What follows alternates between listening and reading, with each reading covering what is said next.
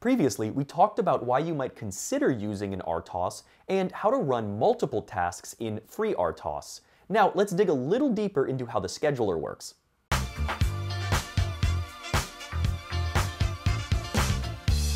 When we write a multi-threaded program, it looks something like this. In main, we do all of our setup and then create whatever threads or tasks we need. From our perspective, these all look like while forever loops running independently and at the same time. If we're doing things on a microcontroller, we might even add hardware-based interrupts to handle things like timer overflows, pin changes, transmit a message, and so on. However, what actually happens during runtime is a little different. Let's imagine that we're looking at processor utilization over time, which moves from left to right. If we only have one core available to us, it needs to divide its time among the different tasks that we wrote. Most RTOSes use a form of time slicing, where one of the hardware timers interrupts the processor at regular intervals. You'll commonly see a time slice of 1 millisecond in FreeRTOS, and that's exactly what's going on inside of our ESP32. I've listed priority slots as the rows in this diagram, and tasks can run in those slots, depending on the priority we've given them. The operating system is required to run every time slice to figure out which task to schedule next. The timer calls this scheduler task at every interval, which is 1 millisecond in our case. This interval is also known as a tick. The scheduler looks at the tasks that need to run and chooses the one with the highest priority. Let's say that task A has a very low priority and it's the only task that needs to run. So the scheduler chooses it and task A runs for the rest of the time slice. The tick timer then interrupts the task and calls the scheduler to run again. Task A has not finished what it needs to do, so the scheduler lets it finish running as there are still no other higher priority tasks. Before this interval is done, task A calls the vTaskDelay function for two ticks and enters the blocked state. The next time the scheduler is called counts as one of the ticks for that delay. However, it still has one more tick to wait and the scheduler has no other tasks in the ready state. So the operating system just idles for one tick. At that point, task A's delay is over and is ready to run again, so the scheduler lets it run. At some point during this tick, tasks B and C enter the ready state. These are higher priority tasks, but they still must wait for the next tick to run.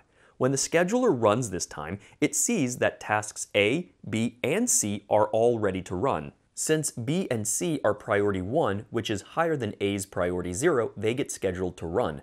B and C are equal priority, and so the scheduler executes each task in turn in a round-robin fashion. B and C will continue taking turns like this so long as they need to run. This is known as preemptive scheduling because CPU time is taken away from one task, task A, to run other higher priority tasks. Keep in mind that this is all done in software. We have not talked about hardware interrupts yet. Unless you do something in code to specifically disable hardware interrupts, a hardware interrupt will always have a higher priority over other software running. The only exception to this is that a hardware interrupt may or may not preempt another hardware interrupt service routine.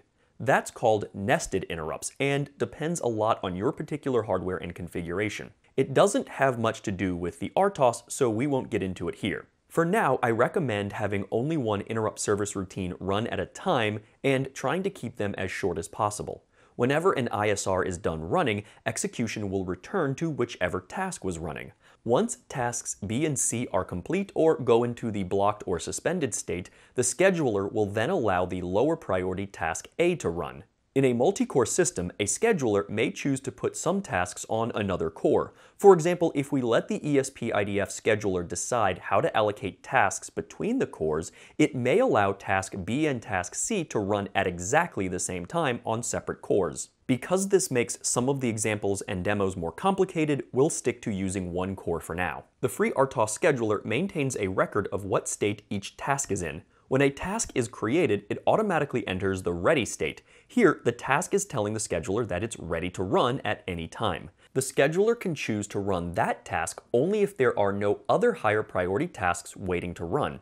If a task is not run because another task of equal or higher priority was chosen, then it remains in the ready state. If a task is chosen by the scheduler to run, it will enter the run state and remain in that state while it is using the processor. If the processor has only one core, then there can only be one task in the running state at any given time. The scheduler can move tasks between the ready and running states as needed at each tick. While running, a task may call an API function that moves it to the blocked state. These API functions can be things like vTaskDelay or waiting for a queue or semaphore. Tasks in the blocked state do not run on the processor and cannot be selected to enter the running state. Here, the task will wait until the unblocking event has occurred, like the delay timer expiring or a semaphore being released. The task will enter the ready state and wait to be scheduled for processor time.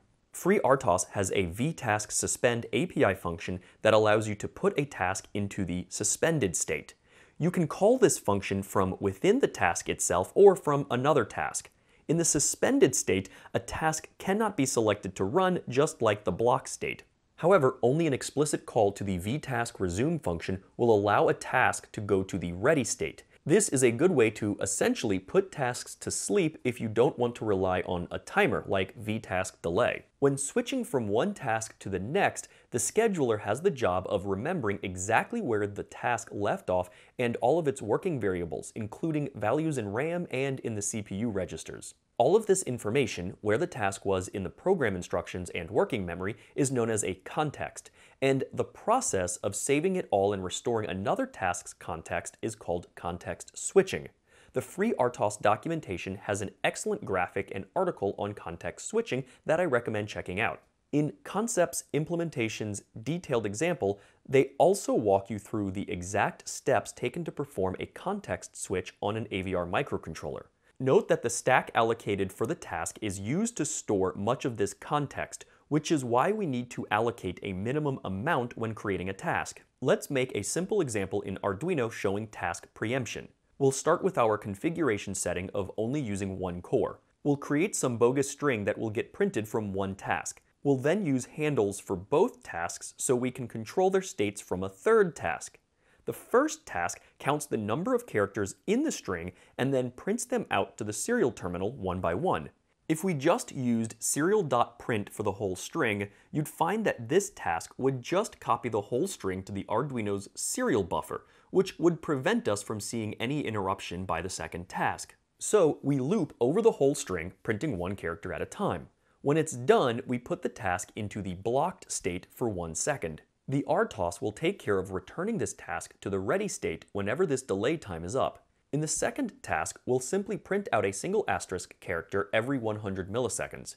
We'll make this a higher priority task so that it will sometimes preempt the first task. In setup, we'll use a very slow serial baud rate so you can see all of this happening in real time. If we used something faster, you'd likely get the whole string in the first task printed in a single tick. I recommend adding in a delay for about a second when working with the ESP32 to give the serial a chance to connect, otherwise you end up missing some of the output.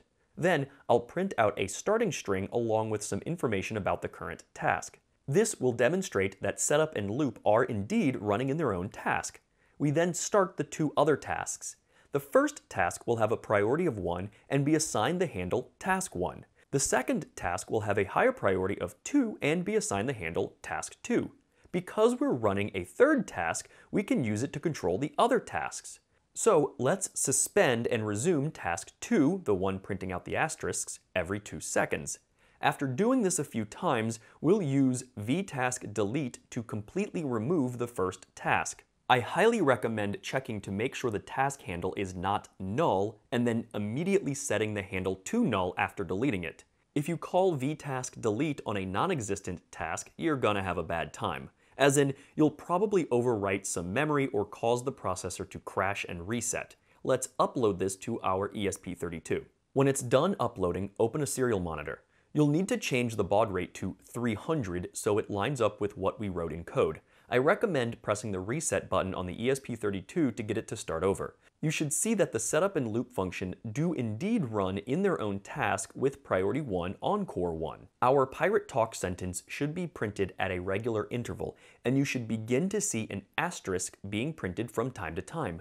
You'll notice that it starts and stops as we suspend and resume that task. After a moment, it should also preempt the first task, causing little stars to appear in the middle of our pirate sentence. When the first task is deleted, just the asterisk printing task will continue to run. Your challenge for this part is to create a program that uses two tasks to control the blinking rate of an LED. One task should listen for input on the serial terminal. When you enter a number, the delay time on the blinking LED should be updated to that time. This allows us to create a simple user interface that runs independently of the hardware being controlled. I'll add a link to one possible solution to this challenge. Good luck and happy hacking! In the next video, I'll talk about memory allocation stack memory, heap memory, and static memory, what those mean and how they differ from each other. We'll also get into how FreeRTOS allocates chunks of heap memory when creating tasks.